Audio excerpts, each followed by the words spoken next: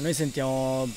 presenti e problematiche le, le, i temi del diritto allo studio, del trasporto, de, degli spazi, della questione abitativa e, ehm, e, anche e soprattutto della salute mentale, perché eh, purtroppo attualmente anche col cambio di, di nominativo, di nominazione de, dell'istituto de, del Ministero dell'Istruzione, eh, con l'aggiunta del merito, sempre più studenti si trovano costretti a dover competere uno con l'altro per arrivare a un qualcosa di eh, irraggiungibile eh, anche ammalandosi e portandosi a, portando a, a, compiere gesti estremi. E, mh, sentiamo principale il, il, tema del diritto allo studio perché la Regione continua eh, sempre più a, con eh, un sottofinanziamento eh, a non ricoprire le borse di studio che appunto sono un diritto dello studente tanto universitario quanto poi comunque anche per gli studenti delle superiori. E,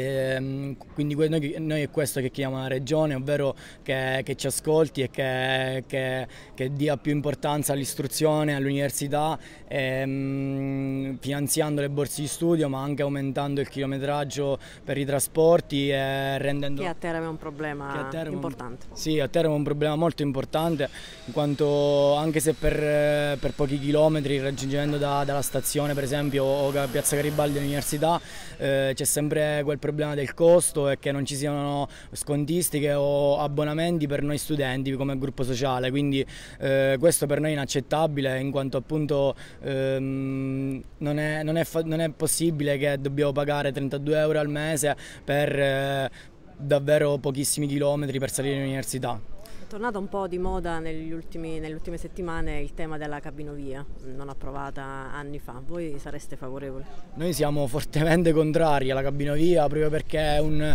dispendio di finanziamenti inutile sia da un punto di vista di realizzazione sia di manutenzione annuale. Addirittura si parlava di 400.000 euro all'anno, 400.000 euro che per l'istruzione, come dicevamo appunto per le borse di studio sarebbero una manna dal cielo, eppure eh, non vediamo questo interesse, eh. Quindi, eh, ma anche per il trasporto, per, per, gli spazi, per qualunque altro tema. Cioè sono, per noi sono finanziamenti e fondi che potrebbero essere utilizzati molto meglio e per, per risolvere molte più problematiche degli studenti.